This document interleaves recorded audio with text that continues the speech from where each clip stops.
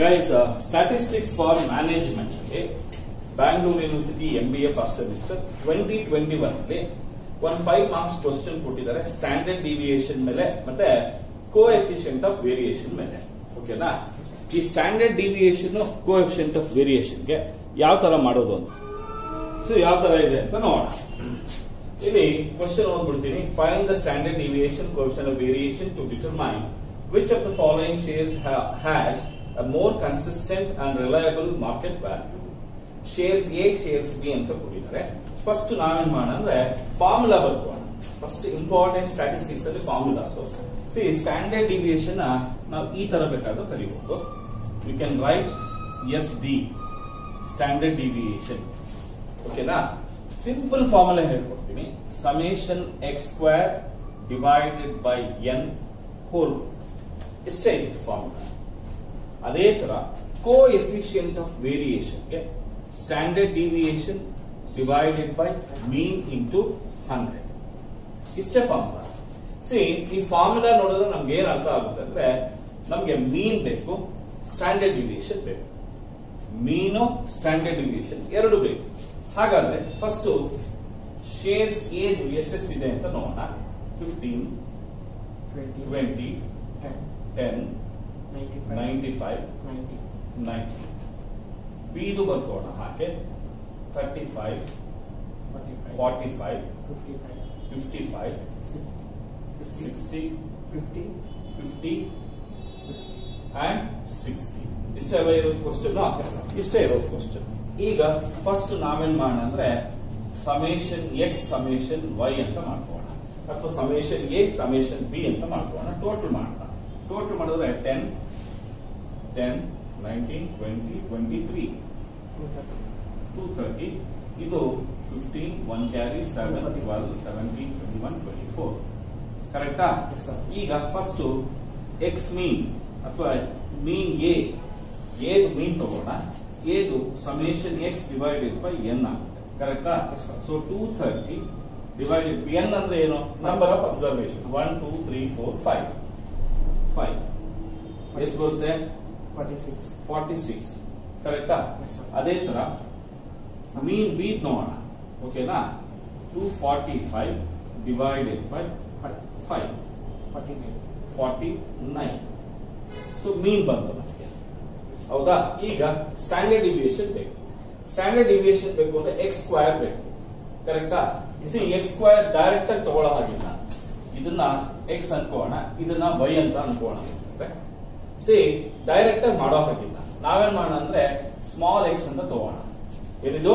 Small. X so small x ಅಂತ ಏನಂದ್ರೆ X minus X ಮೀನ್ ಅಂತ ಅರ್ಥ. ಇವೆಲ್ಲ ಎಕ್ಸ್ ಎಕ್ಸ್ ಮೀನ್ ಎಷ್ಟು ಬಂದಿದೆ? ಫಾರ್ಟಿ ಸಿಕ್ಸ್ ಬಂದಿದೆ. ಸೊ ಎಕ್ಸ್ ಮೀನ್ ಎಷ್ಟಿದೆ ಫಾರ್ಟಿ ಸಿಕ್ಸ್ ಇದೆ.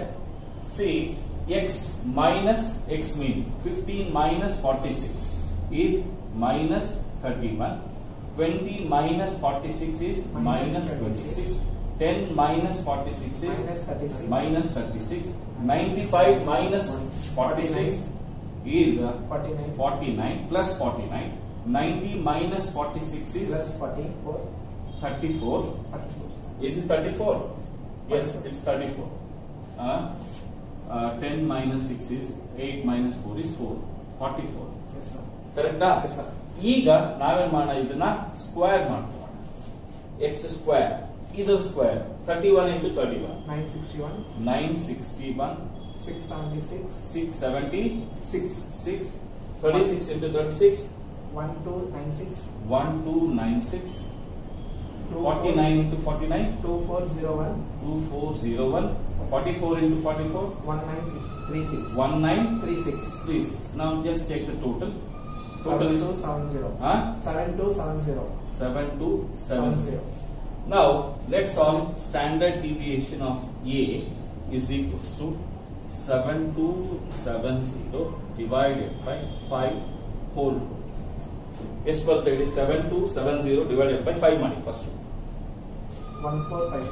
one four five four ಇದಕ್ಕೆ ರೂಟ್ ತಗೊಳ್ಳಿ ಎಷ್ಟು ಬರುತ್ತೆ ಹೇಳಿ ಎಷ್ಟು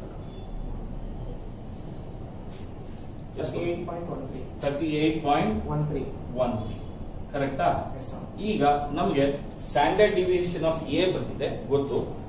ಮೀನ್ ಆಫ್ ಎ ಗೊತ್ತಿದೆ. ಈಗ ಕೋ ಎಫಿಷಿಯಂಟ್ ಆಫ್ ಎ ಹೆಂಗ್ ಮಾಡೋದು ಅಂದ್ರೆ thirty eight point one three is the standard division of A and mean of A is forty six into hundred ಎಷ್ಟು ಬರುತ್ತೆ ಹೇಳಿ? Eighty two point eighty two point eight nine eight This is the coefficient of variation. Okay, na? You understood Abba? Now we done with the standard deviation of A. Now let's see y, small y, that is B. Okay, na? y minus y mean. y mean ಅಂದ್ರೆ know, B ಇದು ಎಷ್ಟು ಬಂದಿದೆ forty nine ಬಂದಿದೆ ಇಲ್ಲ ಅಂದ್ರೆ ಇದನ್ನ x ಅಂತ ಹೇಳ್ತೀನಿ ಇದನ್ನ y ಅಂತ ಹೇಳ್ತೀನಿ ಓಕೆನಾ ಸೊ ದಟ್ ಎಕ್ಸ್ ವೈ ಗೊತ್ತಾಗುತ್ತೆ ಈಗ ಇದು ಫಾರ್ಟಿ ನೈನ್ ಕರೆಕ್ಟಾ thirty five minus forty nine Minus 40. Minus forty This Minus is four. minus 4. This is uh, plus six plus 6. Ah, yes sir plus 6. 50 minus 49 Plus is one. 1. This Plus is 11. plus 11. ಈಗ y square ಮಾಡ್ಬೋಣ 14 into 14 is 196, 96, 16, 16, 36, 1, three seven zero seven zero. Now standard deviation of B is equals to 370 divided by 5 over 2. Yes, Bharatapa? 375, 74. 74 root 8.60 8.60 now coefficient of variation of b uh, 8.60 divided by 49 into 100 is equal to pi.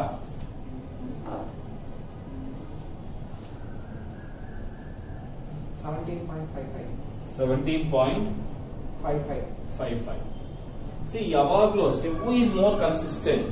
In which company shares are more consistent, right? ಯಾವ್ದು ಕಡಿಮೆ ಬರುತ್ತೆ ಯಾವ್ದು coefficient of variation ಕಡಿಮೆ ಇರುತ್ತೆ ಅದೇ more consistent ಅಂತ ಅರ್ಥ ಅಂದ್ರೆ ವೇರಿಯೇಷನ್ ಕಡಿಮೆ ಇದೆ ಇದು ಏನಾಗಿದೆ? ವೇರಿಯೇಷನ್ ಜಾಸ್ತಿ ಇದೆ.